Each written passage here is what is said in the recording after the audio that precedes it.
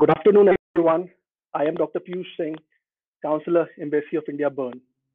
I welcome all of you to this webinar today. Today, we are meeting amidst the COVID-19 crisis.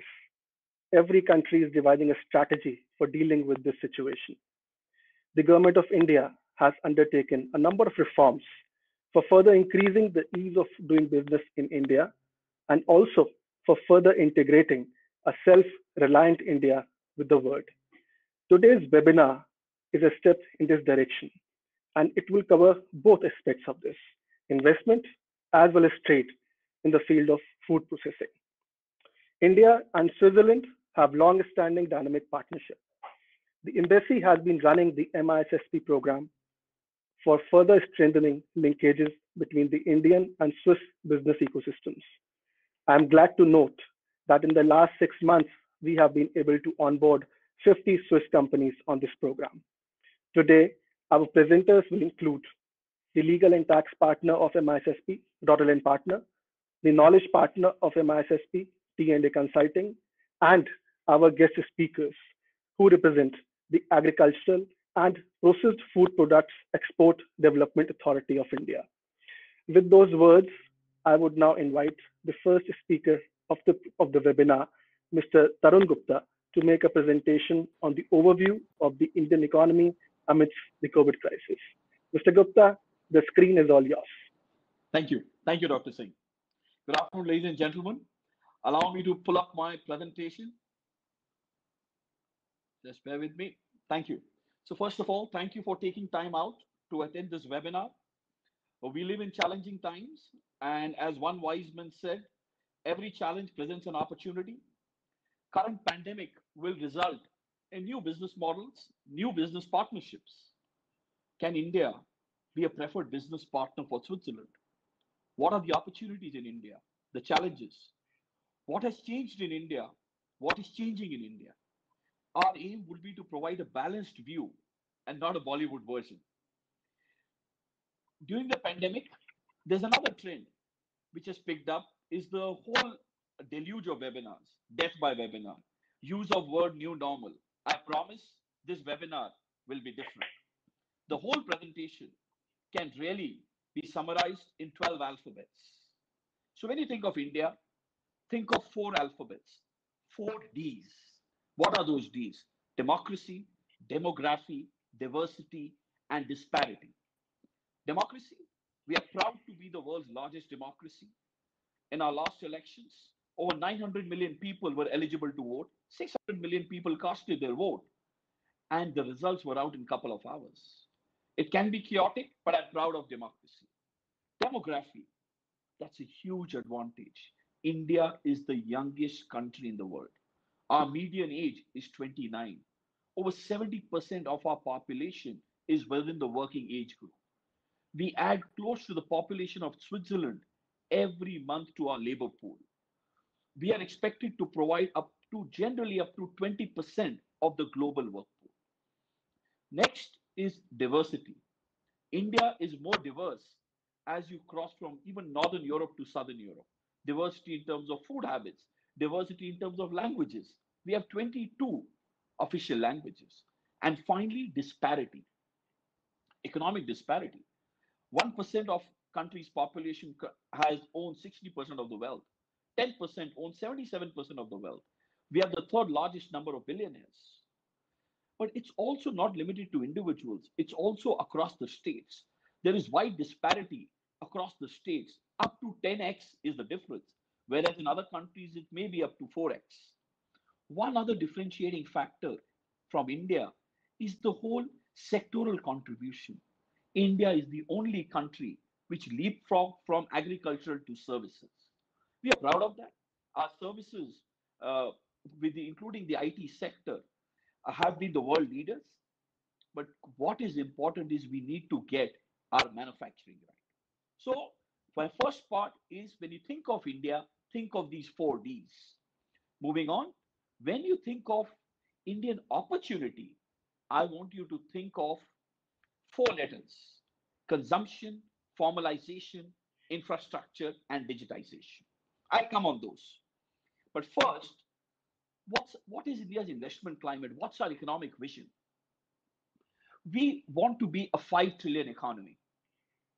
It took us 60 years to reach first trillion.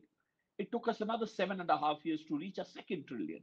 And now we really are looking to double our GDP in five years. Is it ambitious? Very ambitious. What does it need? It needs us to achieve a real growth rate of 8%. It also needs a virtuous uh, cycle of investment, savings, and exports. How are we doing? You look at our FDI numbers. In total, over the last 70 years, we've got $600 billion of investment. Out of that, half of it has come in only in the last five years. 90% of that came through automatic route, no approvals required. That shows that India is a very open economy. Now, why did we get, why have we been so successful that India is ranked as the top three greenfield FDI destination? The answer is on this slide. The improvement in the ease of doing business. There is no other country which has shown such a significant improvement in doing business. We are ranked amongst the top 10 improvers for the third consecutive year. And now let's give you another uh, acronym. All of us have heard of BRICS. Now the new terminology is MIVIT Malaysia, Indonesia, Vietnam, India, and Thailand. These are countries which are competing as some of the world companies look to diversify their supply chain and dependence on the single market. So, what we have is India stands very, very favorably amongst these uh, countries. But one big thing which India has, which none of the other countries has, is a large domestic market. That brings me to the first letter of our India opportunity consumption, C. India is currently ranked as the, as the sixth largest consumer market.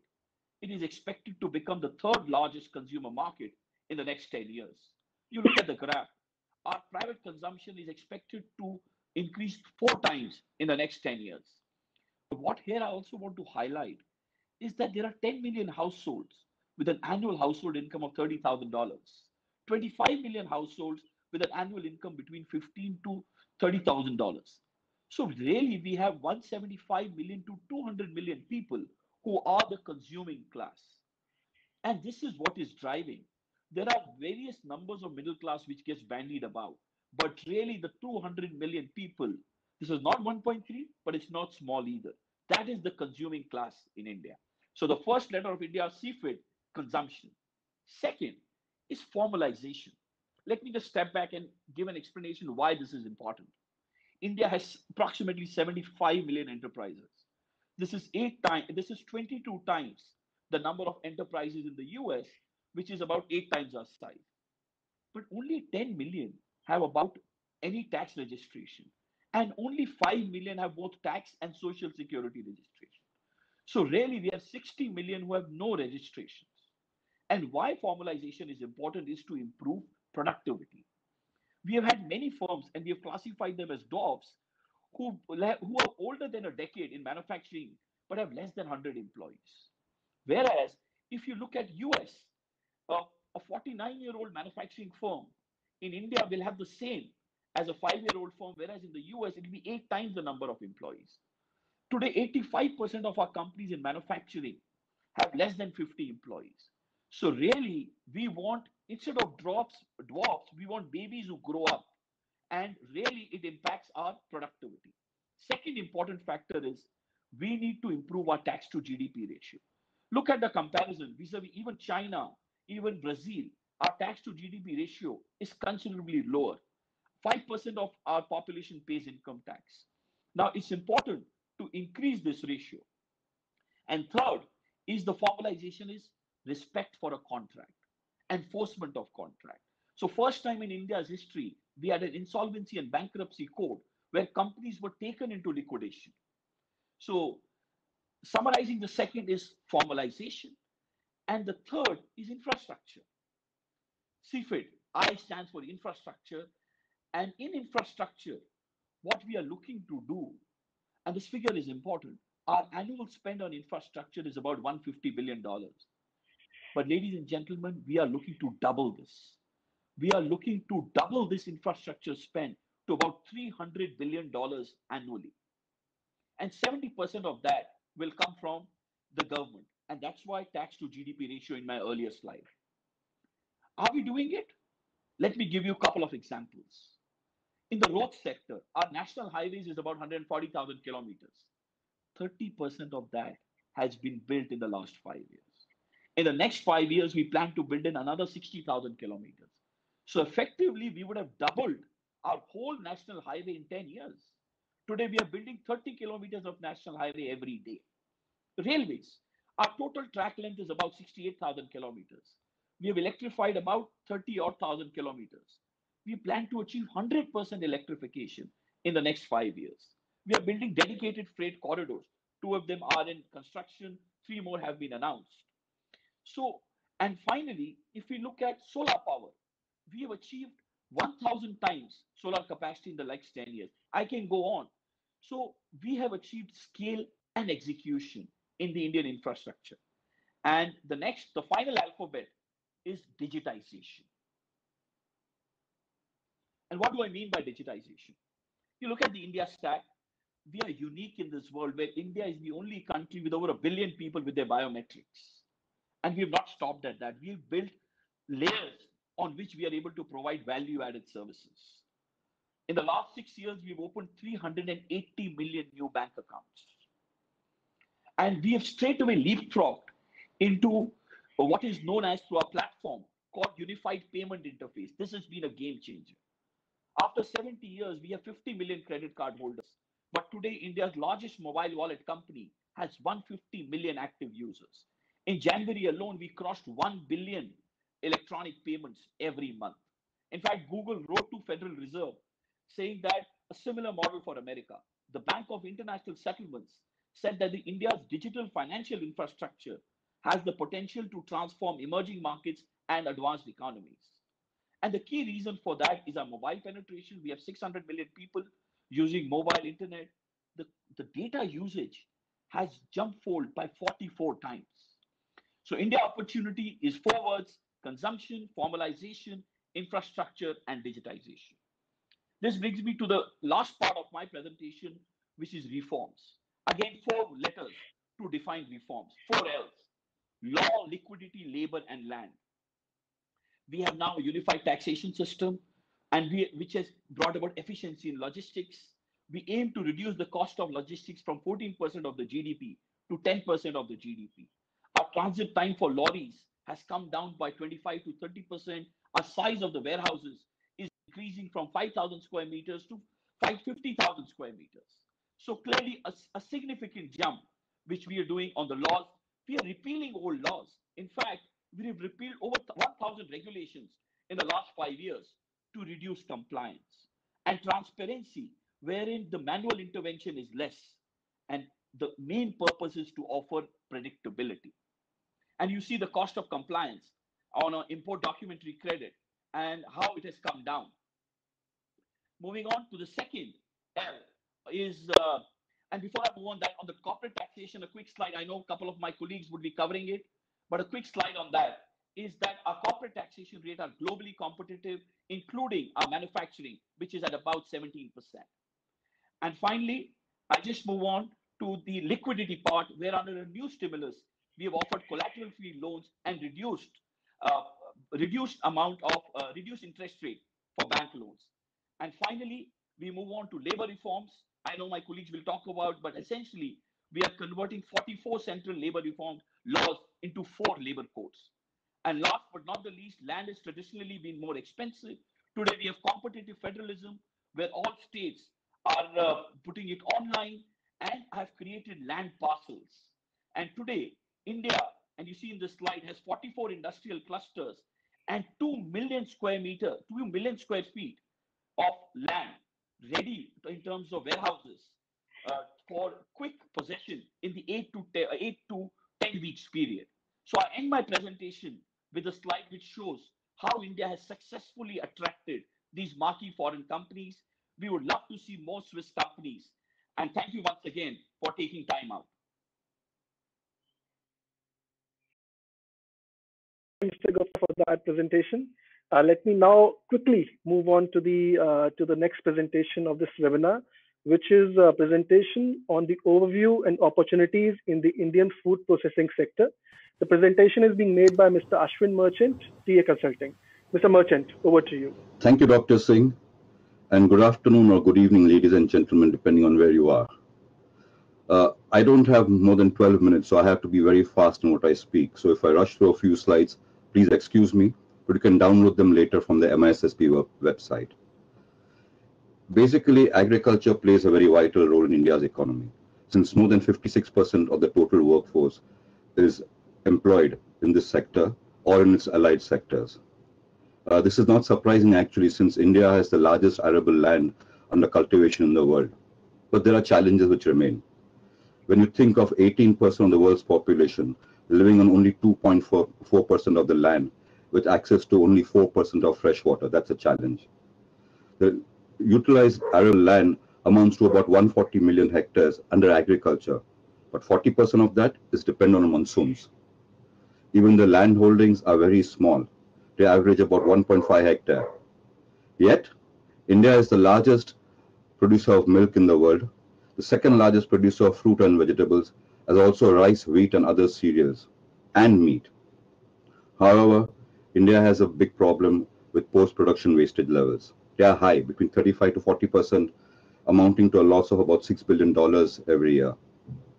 The overall processing levels of perishable items is only between 8 to 10 percent. And the biggest bane in all this is the lack of a cold supply chain. For example, uh, let me quote the figure of reefer trucks. India has 15,000 reefer trucks. UK has 10 times more. Now, a ratio of size has to be applied, India would actually need, need minimum 1.5 million reefer trucks. That you see is basically the cold supply chain, which is really the backbone. Uh, to move up the value addition chain, you know, and to move uh, towards improving farmers' incomes, we have to push the food processing industry. Because remember, at the end of the day, the farmer is at the center of all this. The Indian market. This sector is meant to double in the next five years to nearly half a trillion dollars. Processed food exports, as you see, is about $35 billion, approximately 10% of India's ex exports. But in the world stage, it's only 2.31%, which is very strange considering that we have such strong supply side dynamics. When you look at the food imports, India imports food worth about $20 billion, which is roughly about 4% of India's import. And the world stage, again, 1.30. That's very, very small. So we need to really increase both the, the import and the export, and India has to move up the value chain also in the global food trade. Towards this end, the government is allowing FDI under the 100% automatic route, and just in the last five years, nearly 3.28 billion of FDI has flowed into the country. The manufacturing overview. Purely dependent on its sheer size, India has a very varied agroclimatic conditions, but it suits a diverse range of food crops. The food processing growth is also supported by a large material base, like I showed you in the first slide, as also a pan-India presence of nearly 2.9 million food processing units, 2.9 million. However, only 40,000 are in the organized sector.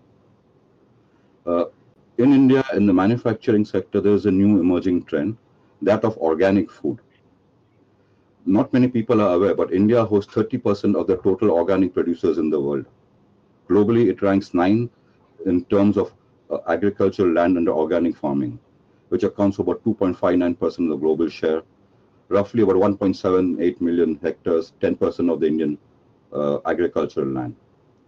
A very strong distinction goes to the state of Sikkim, which in 2016 actually converted its entire cultivable land of 76,000 hectares under organic certification. In 2018, India exported organic food worth about 500 million, and most of the markets were into the West, the USA, the EU, Canada, Switzerland, Australia, Israel, South Korea, Vietnam, New Zealand, Japan. And what is supporting this? This is the government initiatives, the National Food Processing Policy, and the Pradhan Mantri Kisan Sampada. These are the two strong pillars uh, when you look at Pradhan Mantri Kisan Sampada, Sampada basically stands for wealth. So it, it's an initiative to improve the farmer's wealth. when you look at the food policy, there is the government has actually uh, approved 297 cold chains projects, out of which 183 have been completed. They plan to achieve a minimum six-fold increase between now and 2030-2035 to increase output and employment. The other um, thing under the Pradhan Mantri Kisan Sampada is the mega food parks. I will talk about that a bit later. Uh, government also has policies to double farm income by from between 2017 to 2022. Uh, double it, yes. The agricultural export policy of 2018 is meant to double agricultural exports by 2024. There are many other policies, uh, one of the most important one being the National Food Security Mission, which is enacted to the Food Security Act. And let's look at the fiscal incentives. When you look at the GST, GST is, for my Swiss audience, it is something equivalent to a Mehrwertsteuer or what we know as VAT in other countries. Um, 73% of the food items are in the lowest tax slab of 0 to 5%. 25 are between the 12 and 18%, which basically leaves only 2% in the highest tax slab. Uh, besides the favorable customs duties on imported equipment, there is also recently an announcement by the finance minister, Mrs. Sitharaman, in the stimulus package. There were two announcements for the food processing sector. The first one was a US dollar 1.3 billion assistance for the micro and small enterprise sector to upgrade the plant and machinery. The second was about a nuclear reactor in the public-private partnership mode. Now you wonder what is nuclear reactor got to do with this. Most headlines said it's for cancer treatment, for treatment of other diseases. But what many people missed was the same reactors also meant to food aid for food irradiation and preservation. And as she said, to complement agricultural reforms and assist farmers. I come to my next slide, the mega food parks. Mega food parks are basically privately promoted through a, a uh, central government financial assistance through a special purpose vehicle of the Ministry of Food Processing and Industry most uh, like I said, they're mostly privately owned, but some states, like in the case of Assam, the Assam Industrial Development Corporation, sorry, has taken 24% stake in it. Mega food parks use a cluster approach where they try to provide a state-of-the-art infrastructure within a certain defined agricultural or horticultural zone. These 37 food parks are spread across the country in 24 states and in different stages of implementation. The strongest concentration, concentration is in South India, as you see, Telangana, Andhra Pradesh, and Tamil Nadu. Typically, a food park would supply you the complete range, right from a supply chain infrastructure, including collection centers, primary processing centers, central processing centers, cold chain, and about 25 to 30 developed plots for develop entrepreneurs to just move in. It's sort of plug and play. Let's look at the opportunities very simple takeaway from this slide, besides what I've listed out here, is that besides just food processing machinery per se, the growth of this sector will re require equipment and machinery that basically supports the entire infrastructure across the value chain. It has to be that. For example, you could think of packing houses at the farm gate, cold storage and refrigerated transport facilities across the whole supply chain, multimodal logistics, infrastructure port gateways, including sanitary facilities and phytosanitary facilities. Food packaging is also an important segment, but for that we need a separate webinar, which we did have one earlier today. Uh, just for numbers, in 2018, the food processing machinery was valued at 2.3 billion, of which imports formed 23%. Before I move to my next section, let me uh, just send as a takeaway message from this part of the presentation. That the output is to increase to half a trillion US dollars by 2526 as per the government's, government's vision, then a major push in the upgradation of equipment and technology is the need of the hour. I will take the liberty of talking a bit on the premium food segment, which is, well, a, a rider to what I just said. Let's look at the premium food segment. Of the total organized retail space, imported food constitutes about 15 to 20 percent. The imported food market is growing between 30 to 40 percent in the last five four to five years. Major commodity are vegetables, fruits, and nuts, which constitute about 80% of the total food import. There are certain other sectors which are showing growth. mostly dairy based, such as cheese, creams, chocolates, and dips. Wine is one more, and packaged food. Let's look at the distribution channels. Distribution channels are also driven to a certain extent by the demand um, and the growth drivers such as the affluence and the increase in the disposable income, especially of the young demographic, what my colleague Tarun Gupta spoke about. There is rising urbanization, lifestyle changes, a well-traveled consumer has a change in taste, but the most important is the ability to order online. Here, before I talk about, uh, yeah, sorry, some more out here. Um, as far as retail goes, India has, as per estimates, recent estimates, replaced China as the most favorable market for retail expansion. There are upmarket premium food store chains, Food Hall, La Marche, Nature's Basket. These are basically brick and mortar stores spread across pan India, but they are also moving into the online presence. A latest last week, actually, Forrester report said that the Indian e-commerce market will grow by about 6% to reach 35.5 billion this year. And before I move on, I want to point out two segments out here, which is the Horeca segment and the quick service restaurant. Horeca for hotel, restaurants, and catering. These are not to be overlooked because it is not retail uh, per se, but it is a very important segment for consumption of imported food. For example, Barry Callebaut, the famous Swiss chocolate manufacturer, was first selling chocolate, raw chocolate out here. Today it has set up two plants, one in Gujarat, one in Pune, just to cater to this segment. Now to move on to my last slide, the online grocery, oh, sorry, the online grocery market. Between 2011-2014, India's grocery market grew by 0.05 billion to uh, 0.05 billion. Between 2014 to 2018, it grew at an astounding 110% to reach 1 billion. By the same estimate, it is expected that between 2018 and 2023, it will be a 10.5 billion market. But these things might change because of the present COVID-19 pandemic. It has become a game changer. Online grocery stores are now reporting a five-fold increase in demand from the time of the lockdown, which was starting March. Big Basket, which I quoted before, now services 300,000 orders a day as compared to only 150,000 orders. In just in the month of May, they grew 35% over the month of April. Grofers, the other strong online grocery delivery platform, has a daily gross merchandise value increase of 60%. Because of this, Flipkart and Amazon have also strengthened their presence, and in the in coming future, they'll be very strong contenders in the online grocery market. With this, I end my presentation. I hope I've kept to my timing. But before I sign off, let me just remind you that MISSP as a platform is uh, not just to look at the Indian market, discovering opportunities like what we are talking about right now, but to even make an actual entry. I would encourage all participants to have a look at our website and check out the possibility for onboarding. Thank you very much.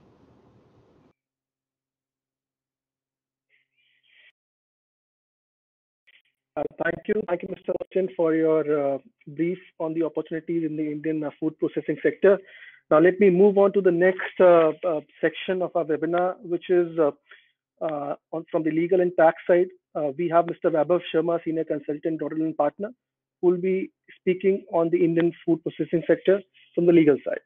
Mr. Verma, Mr. Sharma, please, please join the webinar. Come on screen. Am I audible?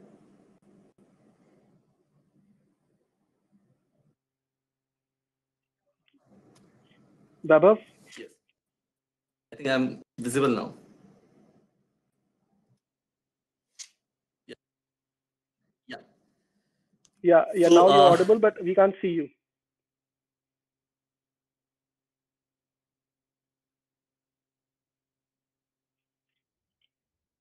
Okay, uh, you go ahead. Go ahead. As I said, like during last five years, several re- reforms have been introduced by Prime Minister Modi-led government all business stages for ease of doing business in India. 100% foreign investment is permitted in food processing business. Recently, contract manufacturing on principal to principal basis and principal to agent basis are also permitted now without any government approval. For ease of FDI related reporting, different categories of nine forms are now subsumed in a single master form, which can be filed on a dedicated uh, 24 by 7 online portal. Any investment coming from neighboring country of India, which shares land border now, uh, is uh, requiring the permission of government because government is sensitive about any opportunist takeover uh, caused due to COVID-19 pandemic. Now, in order to accelerate participation of food processing sector in the total FDI inflow, government has taken several measures. The government has established an apex body called Food Safety and Standards Authority of India in 2006 and consolidated more than 14 laws under one unified law. Government has also taken several initiatives to bring existing food safety and standard regulations at par with global standards, which includes alignment of Indian food regulations at par with Codex standards, uh, improvised packaging and labeling requirements, and compulsory license for e-commerce entities to involve in the food business.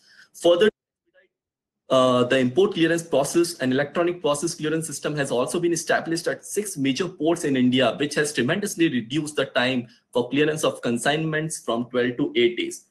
Uh, similarly, to minimize the compliance uh, bottlenecks and speed the business approvals, government is emphasizing on and encouraging self-compliance culture. Single window clearance desk has also been uh, uh, set up at state level for clearance of all approvals required for construction of factories. Similarly, state governments are also requested to consider the exemption on stamp duties for purchase of land, uh, of lease, mortgage, and hypothecation transactions. So in recent years, it has been noticed that FSSA has adopted a collaborative approach and acting as a facilitator rather than a regulator, which has tremendously helped the foreign entities to uh, comply with all the complex legal structure in the food processing sector. Then uh, a foreign entity may opt for setting up a private limited company or a limited liability partnership to carry out food processing business in India. To speed up and hassle-free setting up of a company, government has launched a single form for incorporation.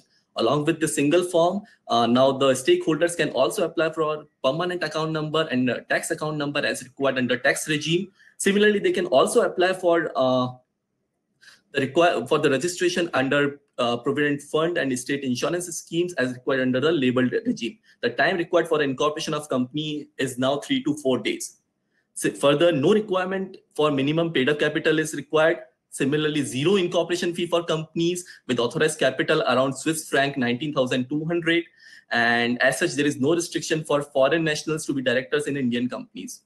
The government has also decriminalized several sections to save the promoters and have also omitted altogether seven offenses which were process, procedural or technical in nature and lacked the elements of fraud.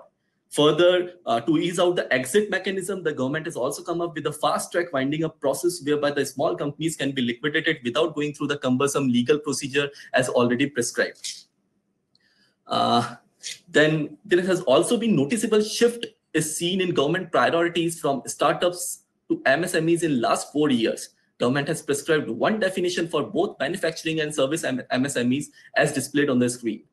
Uh, the reason behind uh, uh, the consolidation of this definition was to bring more enterprises to be benefited out of COVID-19 relief packages. The turnover limit for tax audit has also been now enhanced. Now the companies uh, having turnover of 639,000 Swiss franc are required to maintain the tax audit, which was earlier 128,000 Swiss franc. Similarly, MSE facilitation councils are also established at state level to assist these MSMEs in recovering their outstanding dues from their buyers. Then there are several reforms have been taken in the labor regime also. Uh, in India, labor regulations in India are among the most restrictive and complex in the world. With 40 plus laws at central level and 200 plus laws at state level, it becomes extremely challenging for companies, especially manufacturing concerns, to remain fully compliant. To bring ease in compliance, government has taken several reforms. Government has brought eight central laws, uh, statutory registers to be maintained under eight central laws uh, together. Then to bring more transparency, a unified web portal has also been developed for ease of reporting uh, where single uh, platform has been given for reporting under laws related to wages, contract labor, industrial disputes, social security legislations. Further, MSMEs are also allowed to comply with six different major laws through a combined single certified form during the initial three years of establishment. Out of the major, um, uh, one of the major move taken by the government is codification of 44 plus central laws into four codes these codes are basically pertains to wages, industrial relations, social security, and health and working conditions. Uh, further to uh, protect the in, uh, manufacturing concerns to revive them from the crisis which they are facing due to COVID-19. Government has taken very swift actions at state and both central level. Uh, there are uh, several states have come up with the waiver of applicability of certain labor laws for next three years. Uh, there are several states which are also providing exemption from maintaining registers under the statutes. Then there are uh, several states have come up with enhancement of uh, their working hours time limit from 8 hours to 12 hours per day. So these are the major changes which we have seen in the uh, recent uh, government policies. The tremendous efforts put by the government in last five years have not only improved India's ease of doing business policy, business ranking, but has also reduced number of days in uh, in setting up a business in India. That is from 28, which was in 2015, to 18 days in 2009, which is a very big achievement. This is all from legal side. Now I would request my colleague Priyanka to take the presentation further. Thank you.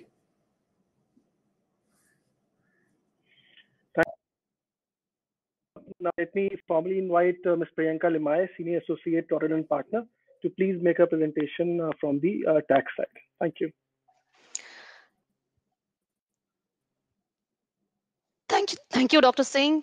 Thank you, uh, Mr. Sharma. And hello, everyone. Uh, I'm Priyanka, and I'll be taking you through some of the, the tax updates and also provide you a, ge- a general uh, overview of the tax regime in India, the tax legislation. Now, before we move on to my slides, uh, why tax? The reason taxes are given so much importance, uh, you know, after the initial setting up and the legal aspects are taken over, are um, is because it it represents a direct outflow uh, and also impacts liquidity and has a, a, major impact on the bearing of the uh, cash repatriation strategies that a foreign investor would you know have to take.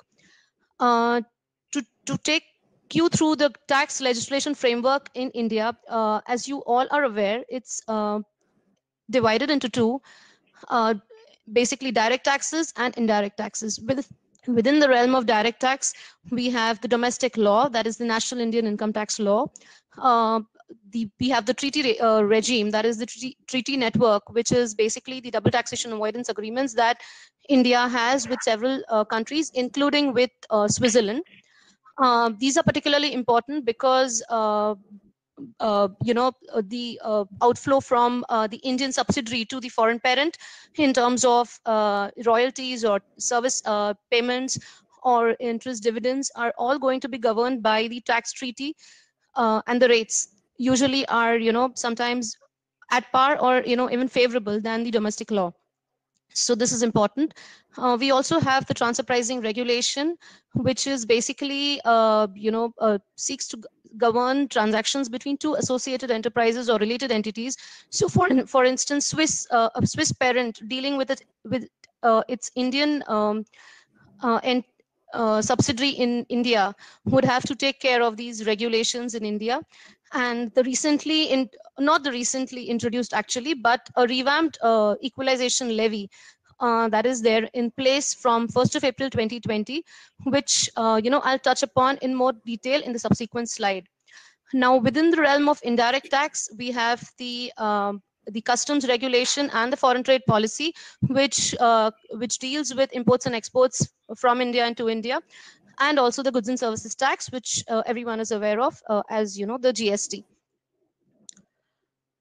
Um, moving on, I'll take you through some of the general updates as far as the tax is concerned in India.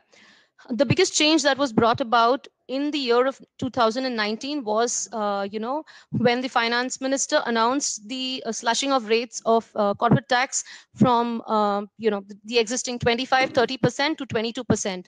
And this was done across for all companies without any turnover limits, which earlier uh, uh, applied to, you know, there was a turn turnover criteria for a reduced rate that was to be taken of course, this reduced rate is subject to certain conditions, but we see a lot of entities getting covered in the, into the uh, new rates of tax, the 22% slab rate.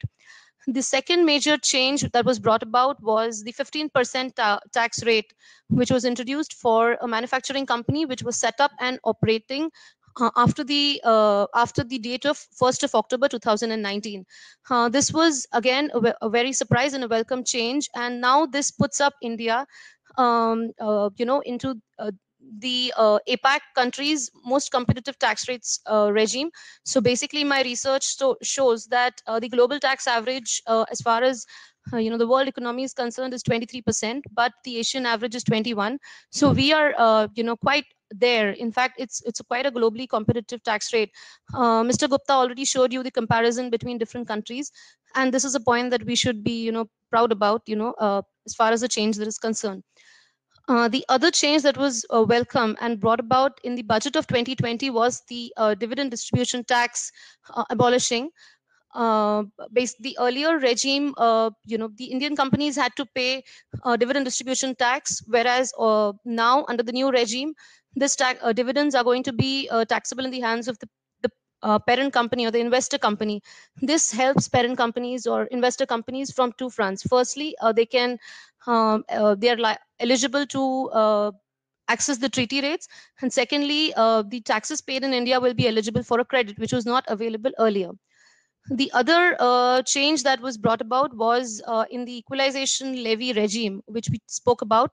Basically, the scope of the equalization levy was expanded to include e-commerce transactions, which basically included online sale of goods and uh, provision of services. Now, this is a really big change in terms of, you know, the digital tax uh, regime in India is concerned and is bound to have an impact for a lot of non-residents uh, and foreign companies who are doing business in India, especially in the COVID times. Uh, I have been informed that I have no time left, so uh, I'll be taking you quickly through the next uh, few updates you know which are actually not recent updates but uh, uh, you know th those are more like uh, to keep up with the global uh, and the changes proposed by the organization for economic commerce and development that is the oecd we have brought about a lot of changes in our uh, anti-avoidance measures. The next in this, uh, I have highlighted or outlined some of the fiscal incentives which are specific to the food processing sector. Uh, this slide is pretty self-explanatory and I wouldn't want to like spend time on this. This uh, presentation is anyways available to you uh, offline, so maybe you can refer to it later. With this, I would like to end my presentation. Uh, thank you for a patient hearing and if you have any questions, please feel, feel free to address them. Thank you so much. Dr. Singh? Thank you, Priyanka, for that uh, crisp presentation. Uh, let me now move. You left to... me with no options, so. you know, we are out of time. We are short of time. yeah. Okay. So, no problem. Thank you. Thank you so much. And Yeah. uh, you know, we'll go. We'll uh, come back to you during Q and A session if the audience has certain questions. Uh, let me now move on to the guest speakers of today, who represent uh, the Agriculture and Processed Food Products Export Development Authority of India.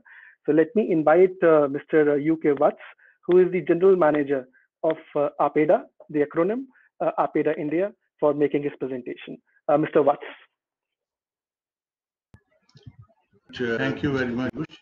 Uh, welcome to all of the members uh, here of MICCP, MISSP. I'm very glad to listen the objective and uh, uh, uh, the view of this uh, this forum. Actually, uh, we we uh, yes we, the uh, environment is enabled by the government for investment as well as for uh, you know uh, pushing up a certain sector, including uh, food processing. Food processing is very important sector for India. Before I go further, I uh, first again introduce. I am from uh, Agricultural and Processed Food Export Development Authority. We have around uh, six sectors to look after for export promotion. These are starting from floriculture and seeds, fruit and vegetable, processed food, fruit and vegetable, other processed food which includes groundnut, guar jaggery, confectionery, etc. Then livestock product which is meat, meat and meat products, and uh, uh, the last one is cereals. So uh, we are not dealing with tea, coffee, and promotion of these products. So uh, now coming back to the uh, uh, this topic, you know, we are in all the government sector, including Ministry of Agriculture, Commerce, external affairs, the embassies, and uh, uh, the uh, agriculture. There are three sectors in agriculture ministry which are coordinating with us, and we are trying very hard to push the export. First of all, to get balance in this COVID period, that our export uh, just went to zero because all the flights, all the uh, uh, sea sea freight went into zero So we we now recovered up to 30%, and uh, uh, actually we took many steps, including coordination, better coordination with civil aviation, agriculture, commerce, and we are part of commerce. So commerce is single body, and uh, external affairs. Uh, there were several several hiccups, and we observed that during this COVID time, we could come out with uh, many solutions and these solutions are going to exist uh, for long now. So uh, starting with uh, what we done in the last few year, few uh, one year, actually we coined the uh, term called agri-export policy. Agri-export policy was coined for the first time in the history of uh, food processing. So in agri-export policy, whatever the earlier speakers told, that we have a cluster approach in so uh, later on, government came up with one district, one cl cluster. Now, situation is that that now we want infrastructure, which is talked about now in the seminar, to come at the farm gate. Otherwise, the consolidation and going to mandi, then picking up the goods, especially fruit and vegetable, was very difficult. And the multimodal transportation worked out cannot work without when we we reach the production side. So the need of the hour is to have the uh, infrastructure near the site, production site. Then moving on, the infrastructure infrastructure for transportation, infrastructure at port, infrastructure at uh, uh, these these three combining three supply chain is the our need of the hour uh, at this moment beyond that you know we have selected few products. Like we want to have emphasis on potato based product which we have a strength of production. We want to have uh, strength uh, built up on processed mango because mango uh, in production it lasts only for uh, two three months. So mango processing sector is another sector we have chosen. And then we have chosen the ready to eat product which actually is a India-based product, Indian-based cuisine product. You must have heard of uh, big names like Haldiram, MTR, Bikanervala, etc., etc. There are ITC. So the, these are, uh, you know, we are combining and preparing a strategy to popularize Indian-based, ready-to-eat and ready-to-cook product. I think all over the world, the need is arising out of the uh, to use the ready to eat and ready to eat because of uh, ready to cook because uh, of shortage of time. And the young entrepreneur young people who are busy in their profession to use the ready to eat. Then last last one we have also chosen the nutri health nutraceutical nutri health product like millet based product and organic product. My colleague Saswati Bose will speak a little bit on uh, organic product. I will put my word on rest because uh, I shortage of time. Our our topic is so large that we can have another session at any time. Thank you. Thank you. Have a longer, uh, you know, exporter, importer, or trade, trade, you know, investment related meet, and then we'll have longer sessions. Uh, so now let me uh, thank you for your uh, for your brief remarks. Let me uh, now invite Dr. Saswati Bose the uh, Deputy General Manager of Agriculture and Processed Food Products Export Development Authority to please make her brief remarks. Thank you. Dr. Bose, you can uh, you can come on the screen.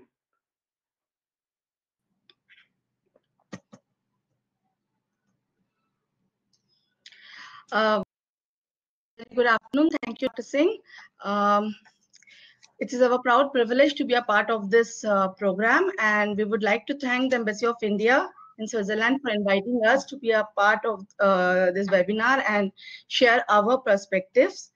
Um, as the name indicates that we are agriculture and processed food products export development authority to our, we are mainly into the promotion of agricultural exports from the country so um, Regarding the opportunities in the food processing sector, my senior colleague has already given a detail about the investment perspective also and the products we are looking into because food processing is a sunrise industry in our country and there is a lot of uh, prospects in there. But uh, while we look into the investment part of it, I would like to also uh, put emphasis on the fact that India is also a very prominent supplier of agri products to the world. So we export um, after agri exports uh, of India, about 40 to 50 percent is covered by India. Uh, so we are uh, we are exporting to all the countries uh, and even to Europe uh, we are uh, exporting. But the to Switzerland, as per our statistics, it is only one percent of the total exports that we are doing to Europe. So we have a lot of scope to increase our exports to Switzerland. And Switzerland does import a lot of processed products from India, which includes uh, guar gum milk products and gherkins, processed vegetables, apart from cereals, rice, etc. Regarding organic products potential, uh, one of our earlier speakers spoke about organic products. Organic products is a very important and prominent sectors. And yes, we do have a very prominent presence. And in this regard, I would like to uh, mention that uh, India has its national standards. That is the National Program for Organic Production, NPOP, which uh, and which is a official and mandatory standards for export of organic products from the country. And we have an equivalence uh, with the European Union regulation for the unprocessed products, that is category A and F, and even with the Switzerland. So uh, products certified under NPOP are unprocessed products are exported under the NPOP certification to Europe. And uh, our uh, share in the in terms of value of organic exports to USA is 55%, to Europe is uh, 31%, but to Switzerland, Switzerland ranks fourth, but still the share is 1%. So again, we have a lot of scope to increase our exports to uh, Switzerland and uh, we had last year we had uh, exported about 6000 metric tons of value of 9.88 uh, million us dollar. And the major products are cereals oilseeds processed foods spices etc now uh, for exports to you we do maintain all the international requirements. As i already said that we uh, we have equivalency arrangement. Apart from that for fresh products also we uh, we follow the EU requirements and export takes place of fresh fruits and vegetables through our APEDA recognized pack houses. So we have a traceability system in place. Our organic product has a full traceability up to the farm level which we have a web-based traceability system tracenet. And we have traceability system for grapes which is also a very important product which is exported by India to the European countries. And we have uh, other for other other uh, vegetables and fruits also we have a HortiNet system. So um, we uh, we have been involved we are involved in promotion of exports through our embassies. We participate in the international events and uh, we do take delegations and do product promotion programs. And international buyer seller meets also. We do reverse buyer seller when the importers can visit in to our facilities and see for uh, uh, themselves uh, the type of the export uh, facilities that we have, the requirements that we meet. Now, under the present situation, also we are trying to keep on the linkages uh, with the importers and the exporters, and we are organizing the virtual buyer seller meet. So we do uh, wish to one would like to organize a virtual buyer seller meet for the importers of Switzerland and the export Indian exporters. So I would request all the importers to give in your requirement of the products that is the processed organic fresh whatever you are looking into importing from india to our embassy so that we can accordingly uh, you know identify and arrange for interaction with some of the prominent exporters and before I conclude, I would like to uh, just add on to the investment opportunities in India. There is a lot of immense uh, potential for investments. I will not go into the technical details of it, but yes, my earlier speakers mentioned that we there is a need for a lot of infrastructure in the agriculture sector, especially the food processing sector, the value addition sector, then the logistic logistics, the including farm gate logistics. So uh, while we need a lot of investments uh, for this infrastructure, we would also uh, like to add on that it will be mutually beneficial because these investments will also provide the Swiss uh, investors an access to the Indian market. Indian domestic market is quite a large market. We are the third largest purchasing power in the world. So you get a, uh, access to the Indian markets. Then when you like you are importing processed product from our country, so you can process in our country and then you can import to uh, Switzerland, or maybe you can export from here to the ASEAN countries or uh, to the Middle East countries. So we can become an export hub also uh, for the agri products. So I think that we can look into uh, somewhere in a, uh, for increasing our agri trade, which will be mutually beneficial for both the countries. Thank you very much. Uh, thank you, Dr. Bose. That was a very thank you, Dr. Bose. that was a very very informative uh, you know briefing you've done uh, on on the trade and the investment side. I thank you very much. Now that brings me to the question and answer session, which I will keep short because of uh, you know because we will breach otherwise the time limit. So uh, I'll go by the speaker order in terms of asking questions. Uh, a question that has been uh, posed uh, uh, to Mr. Tarun Gupta is has digitization helped reduce the entry barrier for foreign food brands? Mr. Gupta. thank you, Dr. Singh, and my thanks to the audience for asking this question uh, one of the challenges always for a foreign brand has been how to reach out to a massive country like India. And what it has done is over the last, as uh, my colleague Mr. Merchant mentioned, because of the growth in the grocery segment, today the online grocery share is only 1% of the total grocery. And grocery spend is 60% of the total retail spend. So what it does is now the large players who are in this, they reach 97% of the pin codes in India. So as a result, including all the top eight cities. So what it does is for a foreign brand, if they come into India, they are able to jump over the challenge of reaching that distribution. That is the single biggest advantage of digitization. Plus, of course, once you have more people able to do online transactions, you get more customers under your belt. Mm-hmm. Thank you. Uh, thank you. Uh, thank you, Mr. Gupta. Uh, the next question I'll pose to Mr. Uh, Ashwin Merchant. Uh, we've got questions on um, uh, FDI in for buying agricultural land in India by, by private companies. So if you could Thank you, Dr. Singh, for this question. Mr. Ashwin Merchant. FDI under the food processing in the food processing sector is allowed per se 100% without uh, through the automatic route. As far as it comes to land, it's a different question. It also uh, is something which I cannot really answer, but I'll ask my colleague Tarun Gupta to take this if you don't mind, Dr. Singh. Yes, please. Yeah, yeah, yeah. Tarunji, if you could answer this question.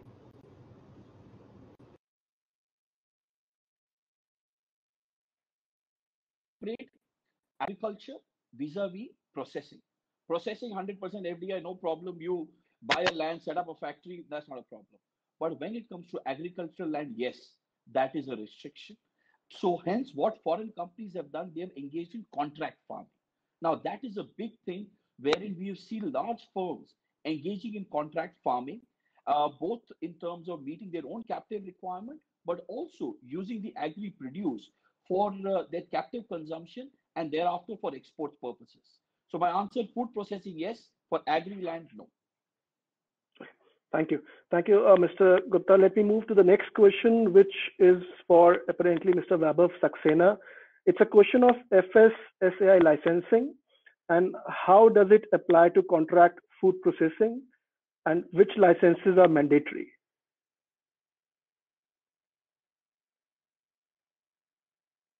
We can't hear you. Uh,